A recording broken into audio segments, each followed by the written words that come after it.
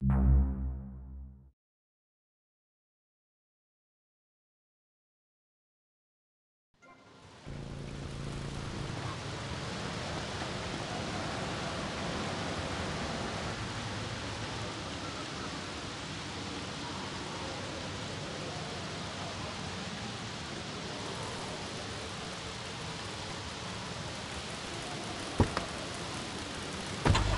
As a matter of fact, I don't let my kids watch cartoons or slasher flicks. Really?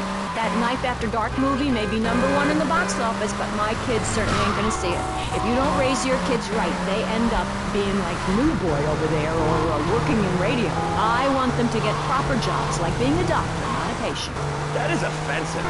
My mother understood I was special. She made me wear a bonnet as a child, and when I demanded to go to school naked, she was fine with it. After social services moved me, she would still write to me. I still remember when she kissed me goodbye.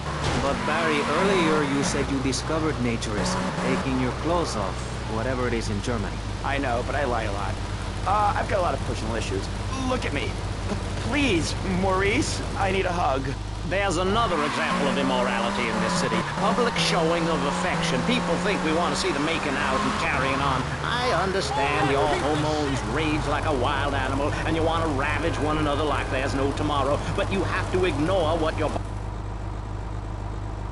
and work for a higher calling, like construction. We're building a statue and we need your help. Call me now. You know, pretty soon you won't be able to tell who's a human and who's an android. Right, the corporation is working on it right now. I know, I read about it.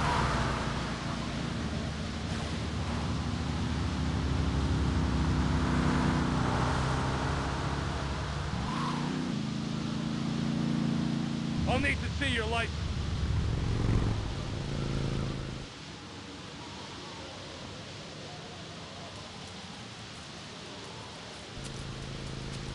Get back to Rusty Pines, old man.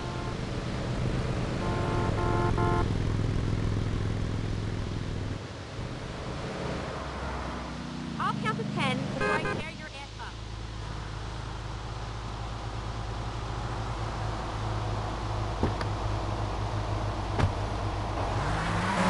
Together to to Alaska with the song, Do They Know It's the 4th of July? Critics complain it's immoral to meddle in the affairs of other peoples and cultures.